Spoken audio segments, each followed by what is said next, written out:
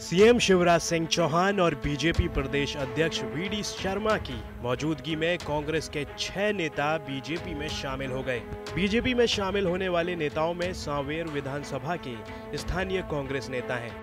माना जा रहा है कि कांग्रेस से बगावत कर बीजेपी में शामिल हुए सिंधिया गुट के अनुभवी नेता तुलसी सिलावट ने स्थानीय कांग्रेस नेताओं की बीजेपी में एंट्री कराई है। इस मौके पर बीजेपी प्रदेश अध्यक्ष वी डी शर्मा ने बीजेपी में शामिल नेताओं का स्वागत किया।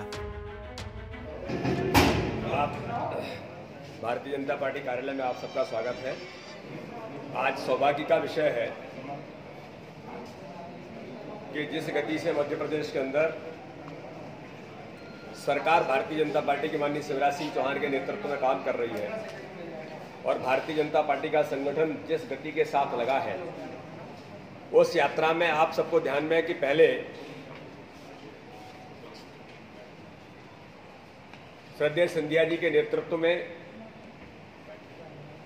कांग्रेस के मित्रों ने भारतीय जनता पार्टी को ज्वाइन किया था। आज तुलसी सिलावट जी हमारे जो कैबिनेट मंत्री हैं उनके नेतृत्व में आपके नेतृत्व में सिंधिया जी को मुख्यमंत्री के उनके जो साथी हमारे कांग्रेस के इंदौर के सामेर के सभी मित्रों ने आज भारतीय जनता पार्टी में उन्होंने सदस्यता ग्रहण की है। इसलिए मैं उन सबको तुलसी जी के साथ सारे लोग जो आए हैं उन सबका बहुत बहुत हृदय से स्वागत करता हूँ माननीय मुख्यमंत्री जी, और हम दोनों ने उनको सदस्यता ग्रहण कराई है।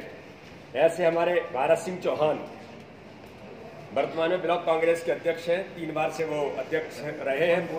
पूर्व मंडी के सामेर के अध्यक्ष हैं, जनपद के पूर्व सदस्य हैं, संचालक है, भूमि विकास बैंक, मार्केटिंग, इंदौर दुग्ध संघ, मध्य प्रदेश दुग्ध महासंघ में वो सदस्य हैं। श्री दिलीप चौधरी जी सामेर नगर परिषद के अध्यक्ष, दो बार से हैं। पूर्व ब्लॉक कांग्रेस के अध्यक्ष हैं और मध्य प्रदेश कांग्रेस कमेटी में पूर्व नगर युवक कांग्रेस के अध्यक्ष हैं। श्री हुकम सिंह सांकला, पूर्व जिला पंचायत अध्यक्ष, इंदौर। श्री नगीराम ठाकुर, मार्केटिंग अध्यक्ष वरिष्ठ कांग्रेस नेता। श्री हुकम सिंह जी पटेल, वरिष्ठ खाती समाज सेवी एवं वरिष्ठ कांग्रेस के नेता। श्री ओम सेठ, जिला कांग्रेस, जिला किसान कांग्रेस के अध्यक्ष और जनपद के सदस्य। ऐसे सभी मित्रों ने आज भारतीय जनता पार्टी की सदस्यता ली है। मैं उनका भारतीय जनता पार्टी के परिवार में बहुत हृदय से स्वागत करता हूँ। और तुलसी जी, हम तो अपेक्षा करते हैं कि जिस प्रकार से सावेर भी कांग्रेस मुक्त बनकर के खड़ी हो, ऐसे आप सभी के मित्र साथी जो मैदान में आ रहे हैं और भारतीय जनता पार्टी के साथ आकर के हमारे परिवार में उन सबका स्वागत है। बहुत बहुत धन्यवाद। इस मौके पर तुलसी सिलावट का भी बीजेपी प्रदेश अध्यक्ष ने धन्यवाद किया। इंदौर की सांवेर विधानसभा से लगातार चार बार विधायक रहे तुलसी सिलावट के कद का अंदाज़ा।